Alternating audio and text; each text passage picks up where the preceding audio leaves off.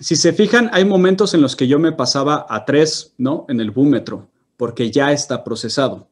Si yo quito el búmetro, todo mi procesamiento de la batería más bien va entrando y va acumulándose hasta acercarme al cero, por lo que vimos en el manual. Este cero de aquí, eh, el que correspondería con el cero, corresponde con un valor de menos 18 y cuando yo me empiezo a pasar y me empiezo a acercar en full scale hacia acá, voy a tener un chorro de espacio. Si se fijan, mi pico en el canal de batería está en menos 3.44 y el instrumento más dinámico suele ser la batería o uno de los más dinámicos suele ser la batería, lo cual significa que estoy por acá. Traducido en mundo analógico, estoy sobre más 6 Sabemos que las consolas profesionales llegan a aguantar una salida, las muy profesionales, de hasta más 20, más 22. Entonces, no me preocupa de ninguna manera estar en esos niveles. ¿Se entiende por qué? No se entiende. Ah, creo que alguien dijo que no. Ok. Las consolas analógicas en su nivel nominal de salida aguantan, o se supone que su nivel de salida es más 4 dBU.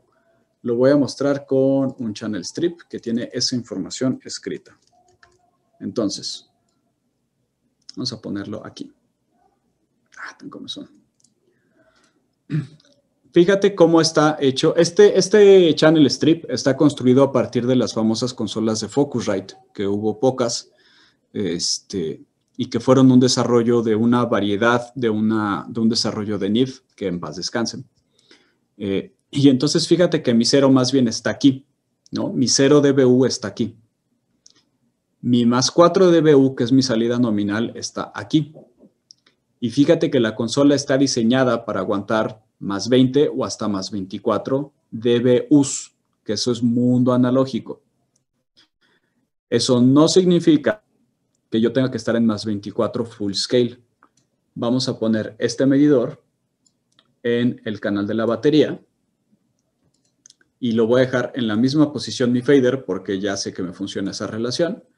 Y quiero que veas cómo se comportan estos BUs del medidor del MB, estos BUs de la salida del Focusrite y le voy a hacer zoom porque esto está muy chiquito del pico de acá. ¿va? Vamos a centrarnos en el coro. Ya está el coro, eh, loop activado. Muy bien, va. Va otra vez.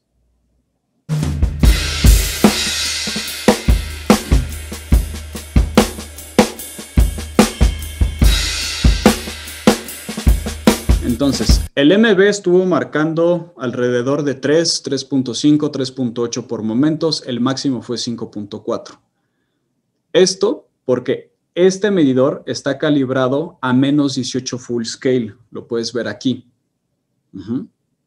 Si yo calibro este más abajo, puedo igualar la calibración de este plugin con respecto al channel strip de Focusrite.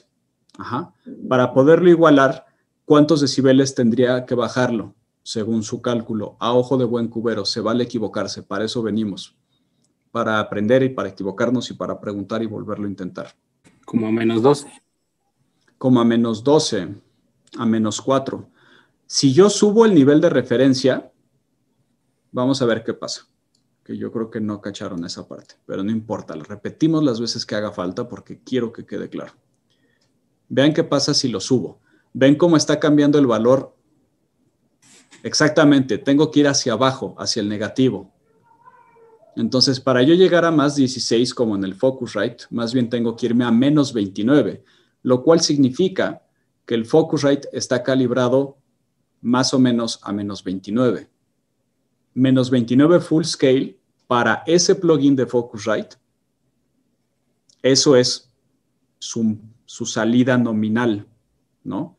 O más bien si yo quisiera la salida nominal, yo tendría que buscarlo desde aquí. Por ejemplo, vamos a hacerlo con una herramienta de utilidad. Gain Utility.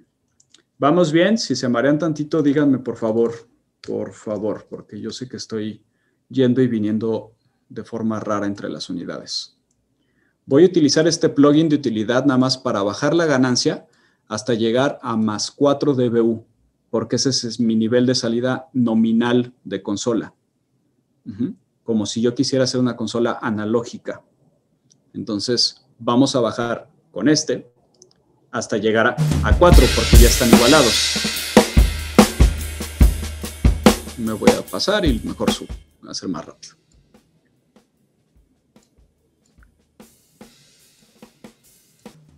Ahorita los leo.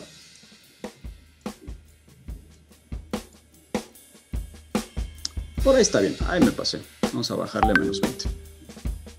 ¿Qué pusieron? En el medidor de Focusrite son DBUs y en el búmetro son BU.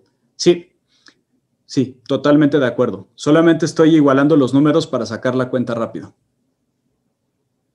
Estoy totalmente de acuerdo. Solo estoy igualando los números para que la cuenta sea rápido. Porque también tenemos el BU a la izquierda en el Focusrite y el DBU a la derecha. ¿no? Entonces, este más 16 que eran DBUs equivale a 1 punto y cachito BUs. ¿Estás de acuerdo, Dylan? Ok, chidísimo. Entonces, nada más lo hice como para, para hablar como en números iguales, ¿no? Pero sí, estoy totalmente de acuerdo. Entonces, vamos a regresar este a su calibración original, que es menos 18. Y por eso me gusta el medidor de este, pero este no es gratuito, ¿no? O sea, el medidor del Focusrite no es gratuito y por eso, pues, prefiero mostrárselos con este. Entonces, ya vieron que ahí por lo menos hay una equivalencia que ya encontramos. Menos 18 es una calibración buena para BUs y menos 29 es una buena calibración para DBUs.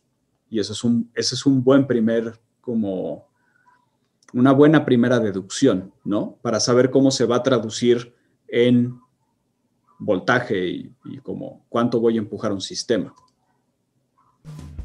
Entonces, visto los números de esta manera, fíjense cómo no estoy cerca, Si yo me voy a más 4 BU, más 4 DBU, perdón,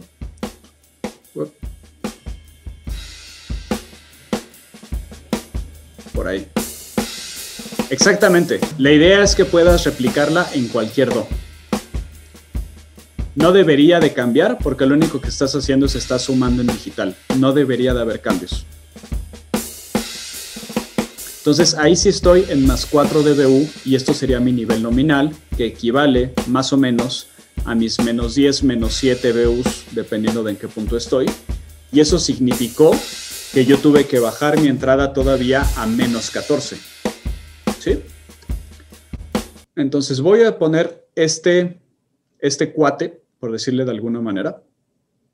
Ya vamos a cerrar el Focusrite, nuestro amigo Focusrite ya no va a jugar. Voy a poner este al final de cada etapa de mi mezcla. Mm. Y vamos a empezar a pensar con esos números. Porque voy a mezclar desde ese punto hacia los canales, ¿no? Entonces, síganme la idea.